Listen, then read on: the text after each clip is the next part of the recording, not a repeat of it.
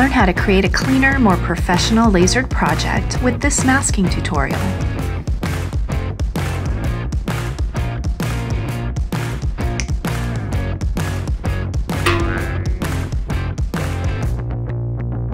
In almost all our videos where we cut parts on our lasers, you'll see that we mask our materials. That means we apply a paper adhesive sheet to the surface.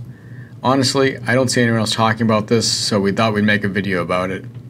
I'm going to go over why we started doing this, some information about masking including some tips we've learned over the years, and finally, I'll show a side-by-side -side laser cutting and engraving results comparison using different materials with and without a paper mask applied.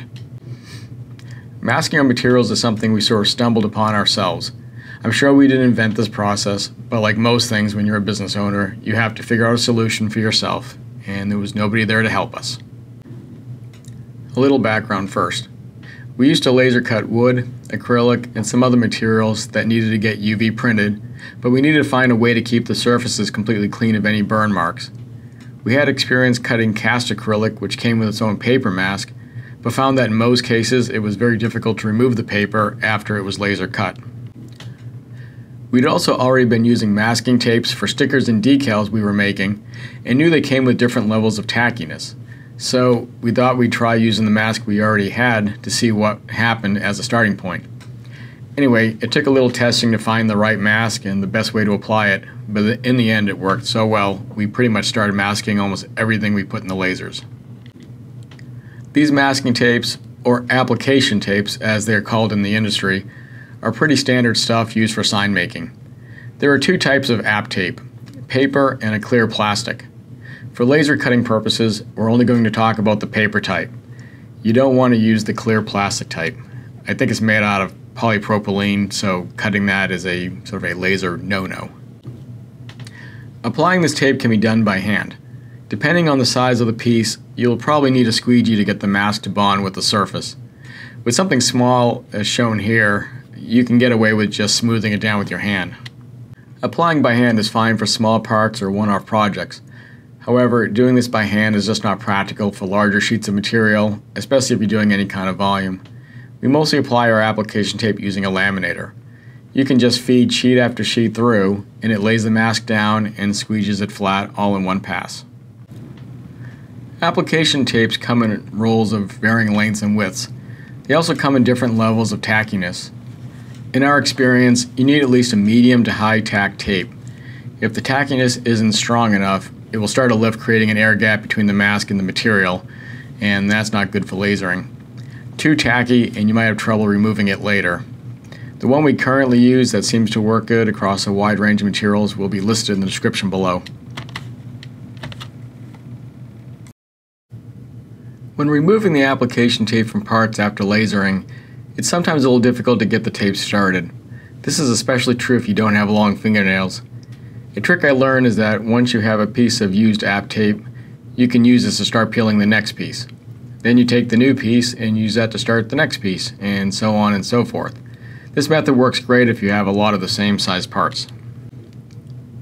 You want to laser cut the mask material fairly soon after applying it. I'd say within a day or so. If left on too long, like weeks or months, it can begin to really bond to the material and be more difficult to remove later.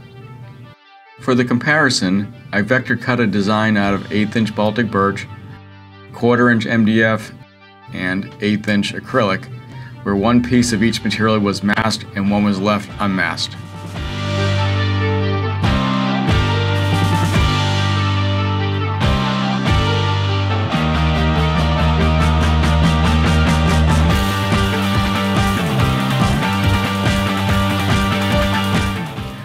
Also engraved a design on wood and acrylic where one piece of each material was masked and one was left unmasked. I blew the dust off the engraved acrylic pieces.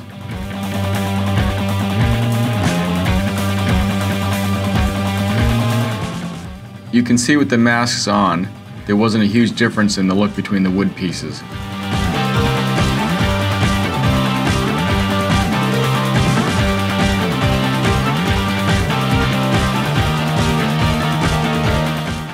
It was obvious though how bad the unmasked acrylic piece looked. Once all the mask pieces were peeled, the differences became more apparent. you can also see how bad the burning gets on the back of the pieces. So even if you're okay with the light burning on the top surface, you might want to at least mask the backside of your material if it will be used in a manner where it will be visible.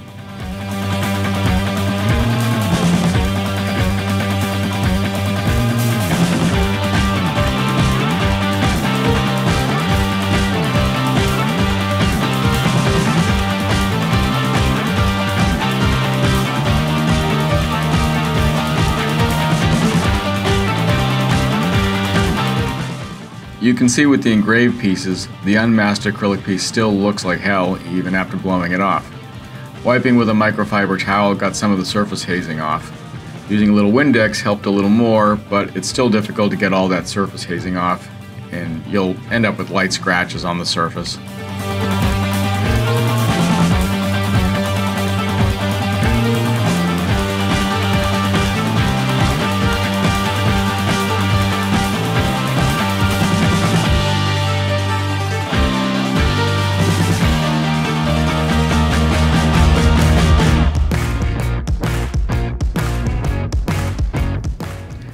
After peeling the wood piece, the design looked really clean. There's still not a huge difference between the masked and unmasked pieces. However, the differences you do see would be more pronounced the deeper the engraving went. In other words, the more burning on the surface, the more residue that would be left behind. This would also matter more depending on the wood being used. The more of an MDF core your material has, the more sticky residue that will be left behind.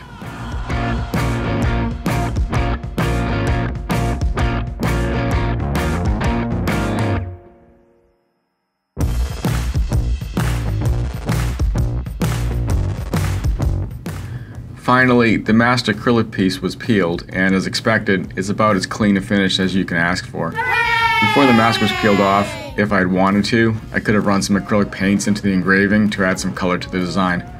The mask would completely protect the surface from the paint, which is sort of a bonus using this technique.